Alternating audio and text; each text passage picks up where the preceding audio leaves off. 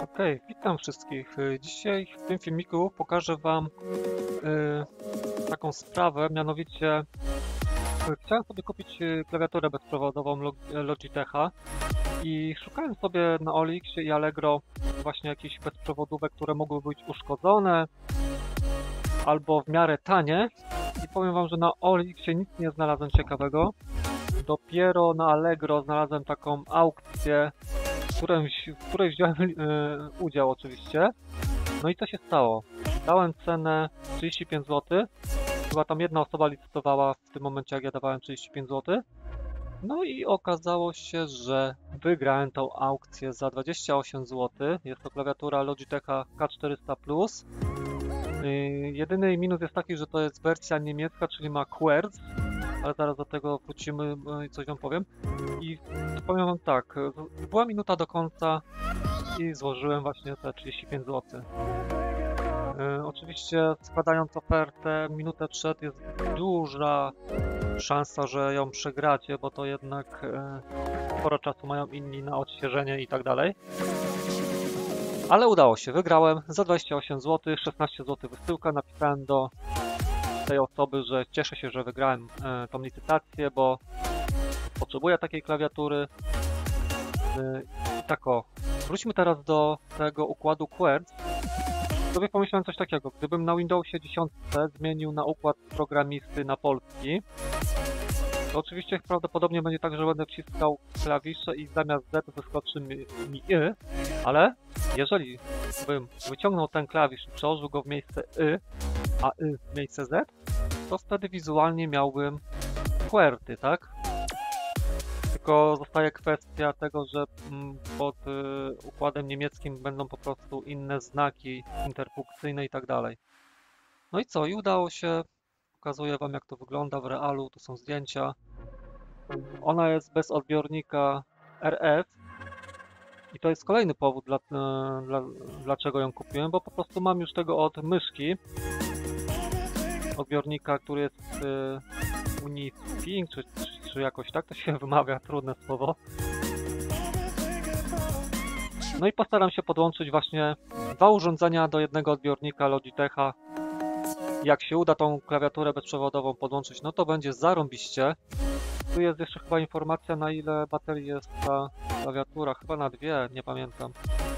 Ale jest tutaj opis, y, K400+, Plus, jest używany, niemiecka wersja językowa, brak nadajnika USB. Powiem wam, że niektórzy mogą nie wiedzieć y, takich rzeczy, że może działać na innym nadajniku po uruchomieniu właśnie w tym trybie Unity, czy jakoś tak. Tutaj chyba będzie informacja, ile tu jest baterii. Jest. Dwa razy AA, brak w zestawie. Żywotność klawiszy do 5 milionów naciśnięć. Wow. To do końca życia chyba tyle nie wcisnę razy. Zasięg łączności do 10 metrów. Chodzi mi o to, że jak leżę na łóżku, to będzie o wiele wygodniej położyć sobie taką klawiaturę gdzieś tam koło poduszki z myszką i obsługiwać sobie Windowsa 10 na telewizorze. I teraz przejdźmy sobie do Ceneo. Zobaczmy po ile ta klawiatura chodzi, z układem oczywiście QWERTY, no 139 zł. Także myślę, że cena nawet spoko. Kiedyś powiem wam, że byłem nawet w Mediamarktu e, w pasażu grunwaldzkim we Wrocławiu i widziałem dokładnie ten sam model i powiem wam, że podobała mi się ta klawi- klawiatura, bardzo mi się podobała. Dotykałem ją. Super, jeszcze tutaj ma po prawej stronie tego touchpada, ten gładzik taki. Nie, mega jest. Jest kompaktowa, w miarę kompaktowa, nie jest jakieś bydle, które ma milion e, klawiszy, których i tak nie, nie użyję. I teraz zobaczmy sobie jakieś tutaj opinie o tej klawiaturze. No wyśmienicie po stronie, to żeby nie było, szczególnie, że to była kobieta, która mnie namawia do tej klawiatury. Jestem niezgodnie wdzięczny, że ta klawiatura z rewolucjonowania mój tym zacząłem czarować różnymi językami, które zaczęły mi czytać przytoczone, kiedy moje marzenia. Ale się kurde rozpisał. Już mnie pan przekonał. Dobre. Zgrabna i lekka e, klawiatura. No to faktycznie, z tego co tak kojarzę, jak byłem właśnie w Media Markecie, e, Media Markt, to była taka fajna, fajna, naprawdę. Używam do mini PC w sypialni, jestem bardzo zadowolony. O, kolejne super zastosowanie. No to jest, to jest jednak to. Mobilność, uniwersalność. Ergonomia, no jest raczej polecaną klawiaturą na 100%. Jednak marka Logitecha jest dosyć znana i szanowana. Teraz zobaczmy sobie na stronie Logitecha, ile ona kosztuje. 219 zł. Czyli ja ją kupiłem powiedzmy za 10%. No może troszeczkę więcej niż 10. Mam 12% wartości tej tutaj.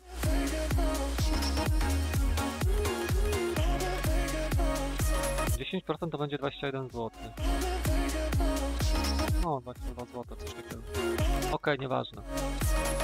W każdym razie tanio mi się udało ją kupić. Mam nadzieję, że wyślę, bo jeszcze nie mam żadnej informacji o wysyłce. Wiadomo, święta i tak dalej. Nie nalegam, rozumiem. Specyfikacja. Zobaczmy sobie specyfikację tutaj na stronie Logitecha. Odbiornik Unifying. Wow! Jest, a to mi się rozchodziło. No to czyli będzie działała na 100% z tym odbiornikiem, który ja mam. Dwie razy baterie, dokumentacja, numery katalo katalogowy. Oj, tutaj mamy. A jak jest, gdzie są Niemcy? Where Razer? Deutsch, Deutsch, PN 920.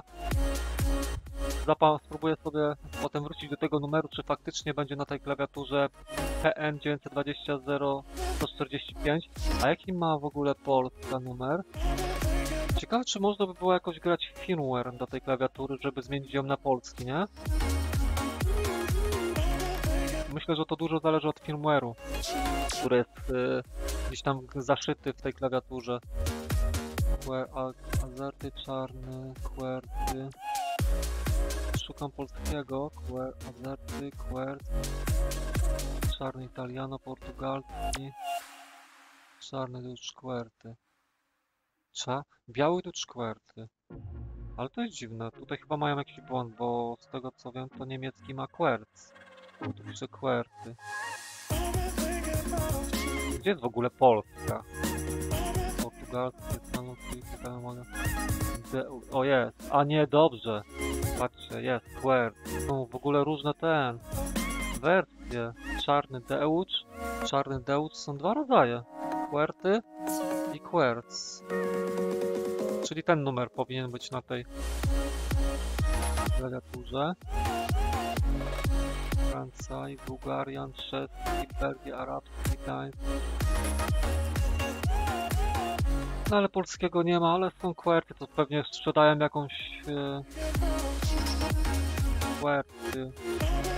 Na pewno nie Italiano. Panel też nie. QWERTY. Hm, to jest ciekawe, jak on sprzedają w Polsce QWERTY.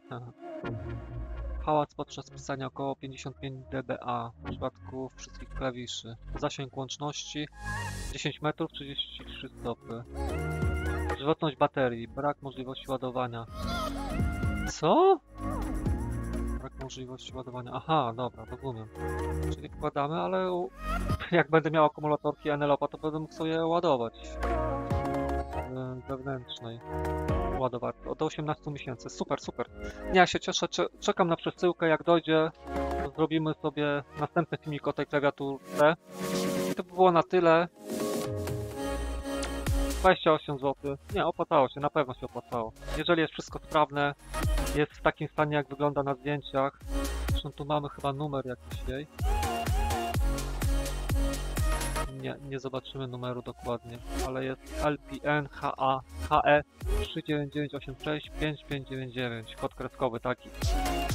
Staram się jeszcze potem wpisać ten kod, zobaczę co mi wyskoczy w Google. I to by było na tyle. Pozdrawiam i życzę drugiego dnia świąt, aby przebiegał Wam fajniej. Trzymajcie się.